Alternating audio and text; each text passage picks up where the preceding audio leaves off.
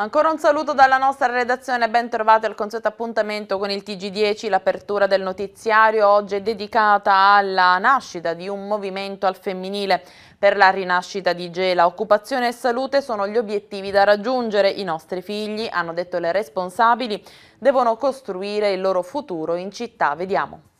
Libere professioniste casalinghe, commercianti, ma soprattutto mamme, mamme di figli che in città vogliono rimanere per costruire il loro futuro.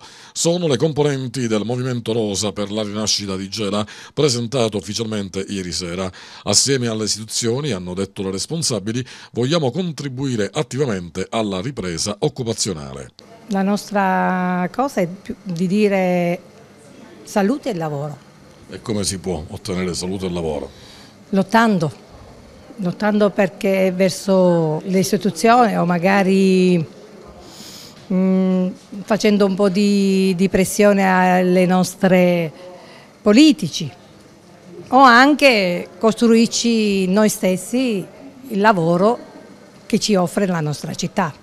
Il Movimento Rosa per la rinascita di Gela era già sceso in piazza lo scorso 26 gennaio nell'ambito della mobilitazione per il lavoro. Noi vediamo che le istituzioni si stanno muovendo e noi ecco che appunto noi stiamo mettendo su questo movimento visto che siamo donne, stiamo formando una rete per essere vicino a questa istituzione dato che la salute e il lavoro camminano di pari passo. Il vostro obiettivo principale è quello di non far emigrare da Gela i vostri Giusto. figli? Sì, principalmente i nostri giovani, perché noi amiamo tanto la nostra Gela, la nostra città e i nostri comprensori. E le donne sono quelle che danno la vita e noi attraverso la vita vorremmo fare rinascere Gela con i nostri ragazzi, con eh, le persone che si stanno associando perché parlando con le donne, le donne si stanno avvicinando a noi, ma non solo casalinghe, ma anche ehm, commercianti, eh, che posso dire, abbiamo degli avvocati assieme a noi, de,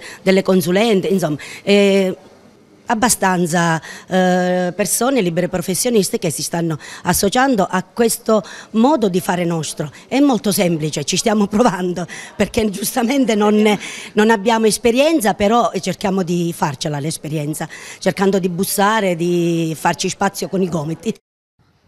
Costruiamo il futuro in una città che cambia dalla rassegnazione al progetto per una nuova economia sociale. Il titolo del convegno promosso dalla diocesi di Piazza Armerina tramite l'osservatorio pastorale di Gela fortemente voluto dal Vescovo Rosario Gisana che si terrà venerdì 29 aprile alle 17 presso l'auditorium dell'Istituto Tecnico Commerciale Luigi Sturzo di Gela. L'osservatorio pastorale cittadino è composto da laici impegnati con una significativa esperienza di animazione sociale provenienti da tutte le parrocchie gelesi ed è presieduto dal vicario foraneo Michele Mattina ed è stato costituito in supporto al servizio del Vescovo con la missione di sostenerlo nella sua azione pastorale. Pagina della cronaca giudiziaria, attività svolte a Gela da polizie e carabinieri sul fronte del contrasto allo spaccio di droga. Vediamo. Lo hanno sorpreso a spacciare in una traversa del centro storico di Gela, bloccato, è stato arrestato e recluso presso l'istituto penitenziario minorile di Caltanissetta a disposizione dell'autorità giudiziaria. Sono in corso attivissime indagini per identificare eventuali complici nell'attività illecita. Le manette sono scattate ai polsi di un 17enne. È stata la polizia, diretta da Francesco Marino, con il coordinamento della responsabile del settore, Laura Romano, ad identificarlo nell'ambito di un'attività di osservazione a distanza. Addosso il ragazzo aveva un quantitativo già tagliato e confezionato per la vendita. A seguito di una tempestiva perquisizione effettuata presso il domicilio del ragazzo, sono stati rinvenuti diversi panetti di sostanza stupefacente confezionati e celati all'interno del vano allocazione dell'autoclave. Sono stati sequestrati 700 grammi di hashish. Il 17enne è un volto già conosciuto per vari precedenti specifici. E i carabinieri, diretti dal maggiore Valero Marra, hanno segnalato alla prefettura di Caltanissetta 12 giovani, di cui due minorenni, per la maggior parte incensurati e studenti. Durante il controllo del territorio nelle zone particolarmente sensibili della città e che più sono esposte al fenomeno dello spaccio di droga, i militari della locale sezione radiomobile, nel corso di un servizio mirato a prevenire e reprimere lo spaccio di sostanze stupefacenti, hanno proceduto ad un controllo a tappeto di tutte quelle aree che sono frequentate in maniera abitudinaria da soggetti consumatori di droghe. All'esito dei controlli avvenuti soprattutto nel centro abitato e vicino agli istituti scolastici sono stati sequestrati circa 20 grammi tra marijuana e hashish, rinvenuti sia addosso ai soggetti fermati sia all'interno dell'abitacolo dell'auto su cui sono stati fermati. Uno di questi, bloccato proprio a ridosso di un istituto scolastico, in un orario prossimo all'uscita degli studenti, aveva con sé anche un tirapugni con lama di circa 8 cm. È stato denunciato per porto di armi e oggetti atti ad offendere. La quinta commissione del Consiglio Superiore della Magistratura all'unanimità ha indicato Fernando Asaro alla guida della Procura di Gela. La votazione dovrà passare al vaglio del voto del plenum del CSM. Asaro attualmente ricopre l'incarico di presidente dell'Associazione Nazionale Magistrati a Caltanissetta ed è sostituto procuratore generale alla Corte d'Appello del capoluogo nisseno.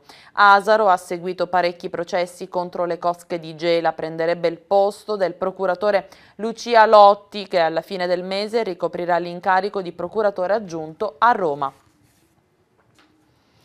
Continua la campagna informativa del Movimento 5 Stelle per il referendum di domenica 17 aprile prossimo.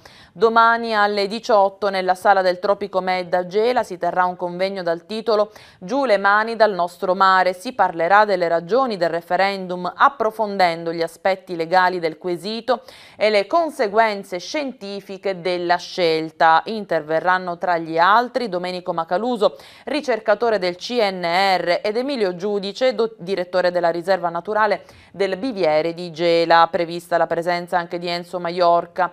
Il Movimento 5 Stelle sottolinea di essere l'unica realtà politica Gela che sta informando in maniera sistematica e strutturata i cittadini sulla tematica referendaria. Questa cosa ci lascia estremamente perplessi perché si legge in una nota informare i cittadini è il più alto dovere che i rappresentanti politici dovrebbero compiere per garantire il responsabile esercizio di un diritto fondamentale. Da oggi il plesso della scuola dell'infanzia di Via Valorsi a Gela porta il nome di Rita Levi Montalcini, premio Nobel per la medicina nel 1986. È stata la prima donna ad essere ammessa alla Pontificia Accademia delle Scienze. Nel 2001 è stata nominata senatrice a vita per avere illustrato la patria con altissimi meriti nel campo scientifico e sociale. Ci ha lasciato il 30 dicembre del 2012. Oggi alla cerimonia di intitolazione era presente la nipote Piera Levi Montalcini, presidente presidente della fondazione dedicata proprio alla zia.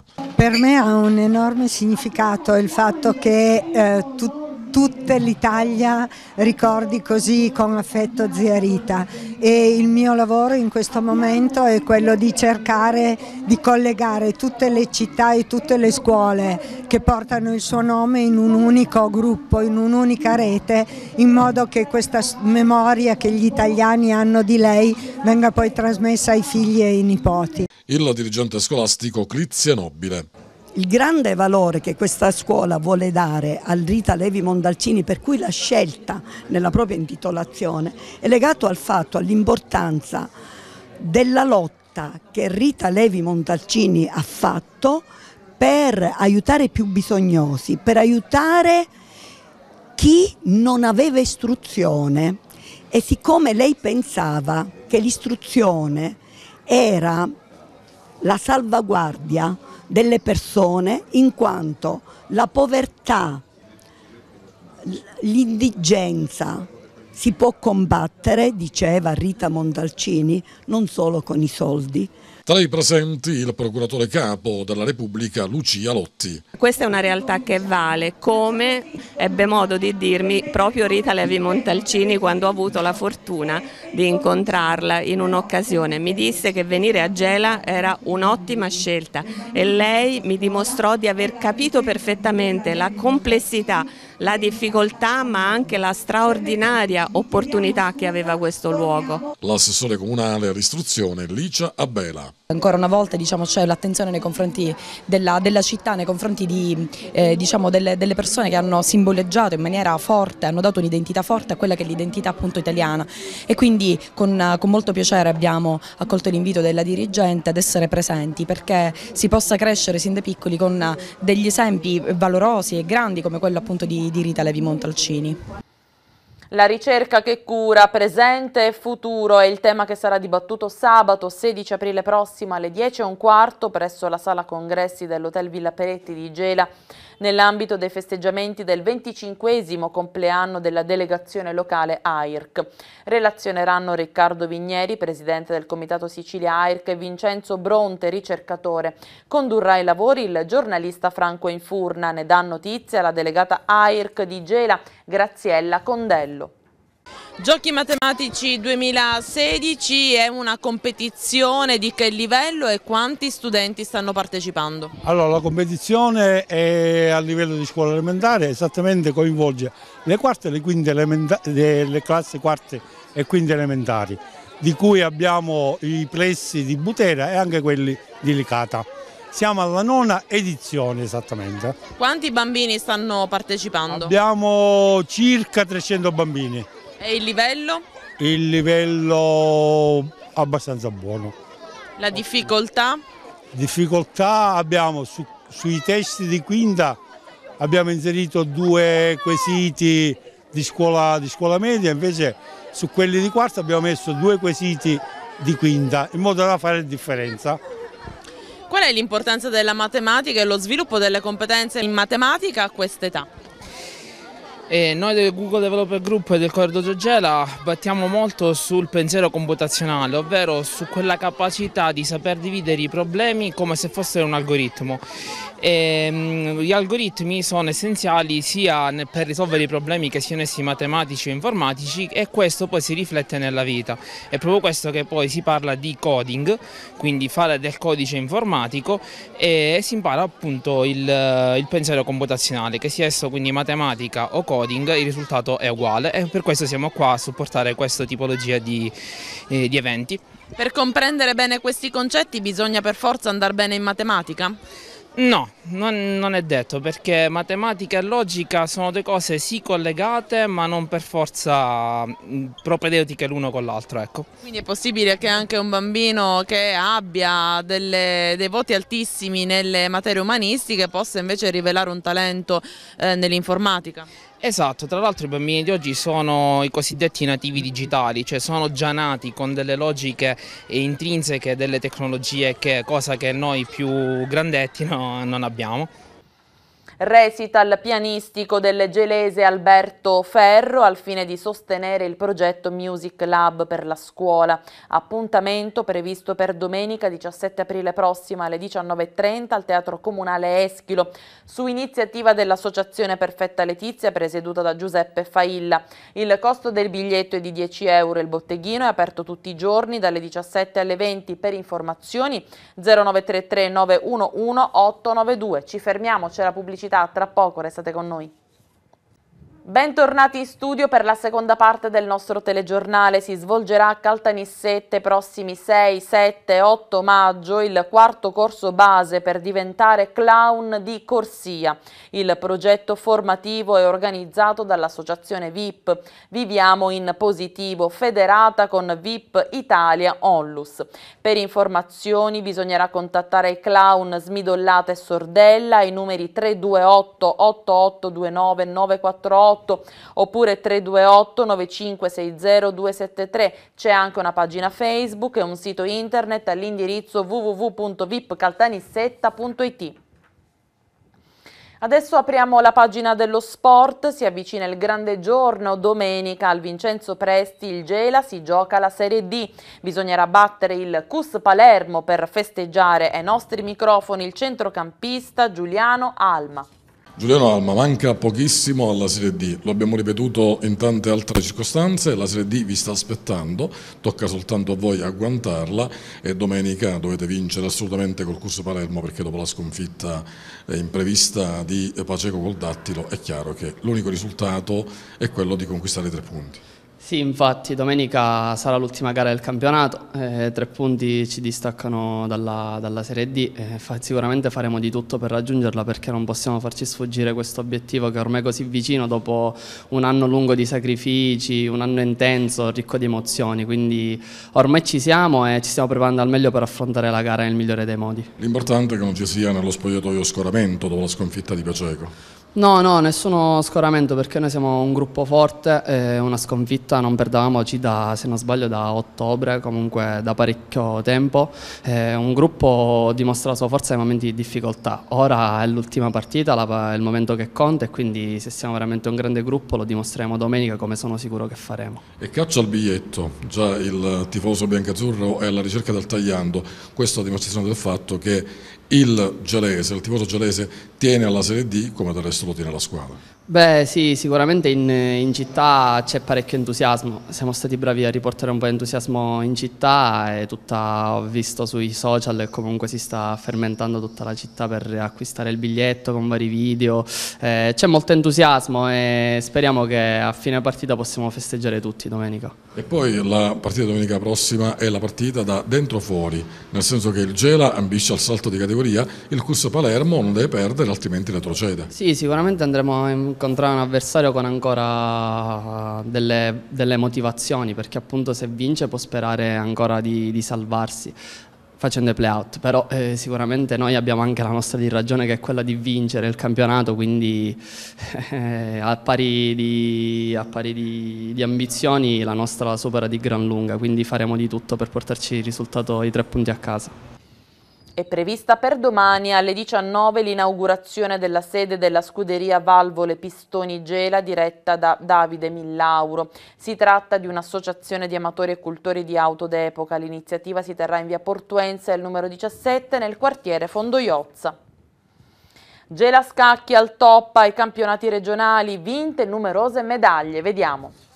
Incetta di medaglie per l'Associazione Sportiva Dilettantistica Gela Scacchi al 29 campionato regionale siciliano che si è svolto a Marsala. Ancora una prestazione coi fiocchi per la squadra gelese. In gara più di 200 giovani e bambini provenienti da ogni parte dell'isola. Chiara Morello si è laureata campionessa regionale Under 14. La vittoria la dedico a non la dedico a una particolare persona, la dedico a, tutti, a tutte le persone che mi sostengono giorno dopo giorno. Mm, sono riuscita a vincere impegnandomi al massimo, studiando le varie teorie sca degli scacchi. Terzo posto assoluto nella categoria Under 10 femminile per Arianna Marazzotta. Ultimamente alle regionali soltanto terzo posto, però sono arrivata seconda e prima. Tutti i bambini potrebbero giocare a scacchi, anche se sono molto piccoli.